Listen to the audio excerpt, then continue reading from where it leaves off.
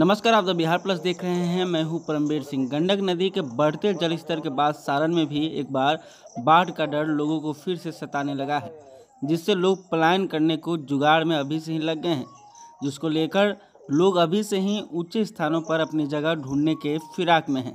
इस बीच गंडक के बढ़ते जलस्तर से सारण तटबंध के तरैया और पानापुर प्रखंड के निचले इलाकों में रातों रात एकाएक बाढ़ का पानी प्रवेश कर गया। जिस कारण तरैया के सगुनी और पानापुर के रामपुरुद्र समेत कई इलाकों में रातों रात बाढ़ का पानी प्रवेश कर गया है। इसी बीच सगुनी गाँव के एक व्यक्ति की बेटी की शादी के रस्म के बाद नाव से दुल्हा दुल्हन को विदा करना पड़ा।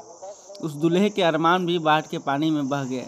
बेचारा गाड़ी चढ़कर दुल्हन को ब्याह कर ले जाने आया और नाव पर उसकी विदाई करनी पड़ी।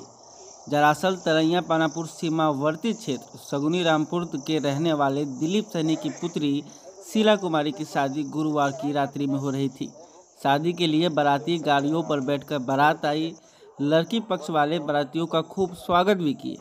रात में खाना खाने के बाद कुछ बाराती गाड़ी से वापस चले गए और कुछ रुक गए। दूल्हा भी शादी के लिए दरवाजे पर आया। शादी की रस्म शुरू हुई। लेकिन इसी बीच गंडक के बढ़ते जलस्तर से एकाएक गाँव में बाढ़ का पानी घुस गया और वहाँ बाढ़ जैसे बेकाबू हालात हो गए, जिससे दूल्हा दुल्हन संग बराती भी बाढ़ के पानी में घिरकर फंस गए और आलम यह हुआ कि सुबह नाव पर बैठाकर दूल्हा दुल्हन और बारातियों को विदा करनी पड़ी।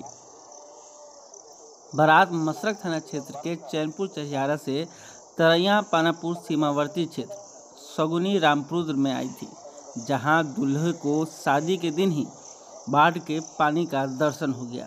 फ़िलहाल, गाँव समेत आसपास के इलाके में बाढ़ जैसे हालात बन गए हैं और लोग ऊँचे स्थानों पर पलायन करने के मूड में हैं।